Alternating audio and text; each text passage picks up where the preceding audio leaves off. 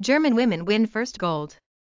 Germany defeated Sweden 2-1 to claim women and hashtag 39 S football gold in Rio and hashtag 39 S Maracana Stadium, winning the Olympic title for the first time. For more details click on the link below.